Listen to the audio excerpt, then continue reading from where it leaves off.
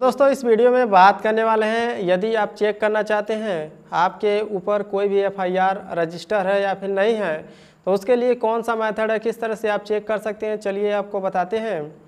सबसे पहले आपको एक एप्लीकेशन की ज़रूरत पड़ेगी, गूगल प्ले स्टोर पर आ जाना होगा और यहाँ पर आपको सर्च करना होगा कुछ इस तरह से, e court e court service. जी हाँ दोस्तों e court service app download ऐसे आप सर्च करेंगे तो आपको यहाँ पर कुछ इस तरह से लोगो देखने के लिए मिल जाएगा e court service national information centre, जो कि एनआईसी का यह वेबसाइट मतलब एप्लीकेशन है। सिंपली इसे आपको डाउनलोड कर लेना होगा। अब इसको डाउनलोड करने के बाद इसमें और भी मतलब किस तरह से क्या चीज़ है, देख सकते हैं। कुछ यहाँ पर इमेज आपको दिखाया गया है। कोर्ट के बारे में या फिर जो भी केस होता है उसके बारे में आपको काफ़ी जानकारी मिल जाती है। सो ये तो ओपन हो गया, इसको ओपन कर लेते हैं। और ओपन करने के बाद ऐसा इंटरफेस खुल जाएगा डिस्ट्रिक्ट कोड जी दोस्तों। यहाँ पर देख सकते हैं, कुछ अपडेट भी हो रहा है। और यहाँ पर डिटेल देखने के लिए मिल जाता है। आप चेक करने के लिए यहाँ पर केस स्टेटस पर क्लिक करना होगा। उसके बाद यह सभी ऑप्शन आ जाएगा।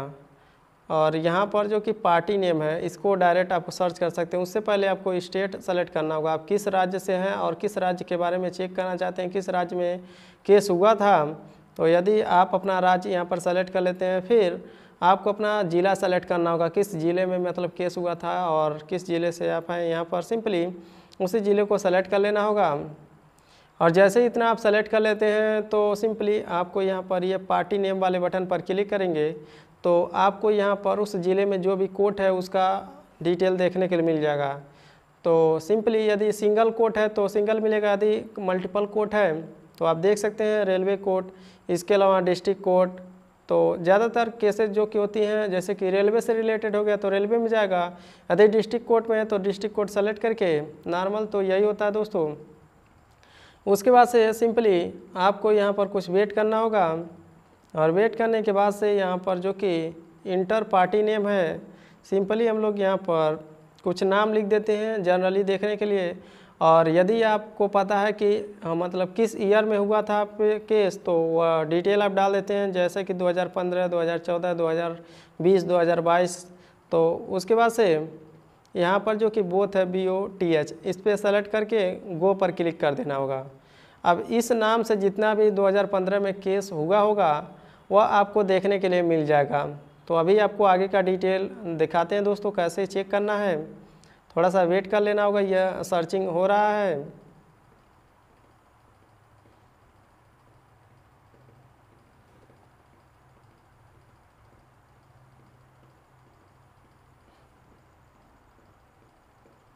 सो so, दोस्तों जैसा कि आप देख सकते हैं नीचे की तरफ़ आ चुका है कुछ केस। जैसे कि डिस्ट्रिक्ट सीज़न इसके अलावा चीफ जुडिशरी मजिस्ट्रेट और सिविल जज जूनियर डिवीज़न यह सभी केस आपको देखने के लिए मिल जाती हैं। तो ऐसे में जैसे ही एक पर क्लिक करेंगे तो दोस्तों क्रिमिनल से रिलेटेड यह सभी केस आपको देखने के लिए मिल जाएँगे। और इस नाम से संबंधित इसके अलावा किसके द्वारा केस किया गया वह सभी डिटेल मिल जाएगा।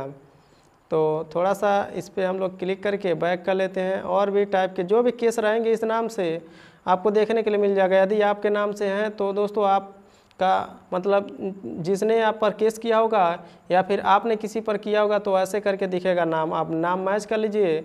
उसके आगे आपको यहाँ पर देखने के लिए मिल जाएगा क्रिमिनल और मिस, जो भी धारा लगा होगा। और दोस्तों एक बार बैक हो गया। और आगे का डिटेल भी उसमें देखने के लिए मिलेगा, कौन सा धारा लगा होगा, किस, कौन सा पुलिस स्टेशन है। जी हाँ दोस्तों, एक बार और हम लोग सर्च कर लेते हैं कुछ और नाम से। ताकि जल्दी से आ जाए। थोड़ा सा टाइम लगता है दोस्तों, ये मतलब इनका एप्लीकेशन वर्क करता है। तो इस नाम से देख सकते हैं कुछ इस तरह से। आप यहाँ पर जो भी पार्टी हैं, उनका मतलब देख सकते हैं, एक इन्होंने किया है अतुल गौतम और रामू यादव, ऐसे करके है। और इस वाले बटन पर क्लिक करेंगे जो कि क्रिमिनल मिस और यहाँ पर कोड लगा हुआ है। तो उसका और भी डिटेल देखने के लिए मिल जाएगा, जैसे कि फ़ाइल नंबर डेट कब केस हुआ था रजिस्टर्ड और स्टेटस। और दोस्तों, यहाँ पर एडवोकेट कौन थे? इसके अलावा किसके तरफ़ से केस हुआ था? कौन सा धारा लगा था?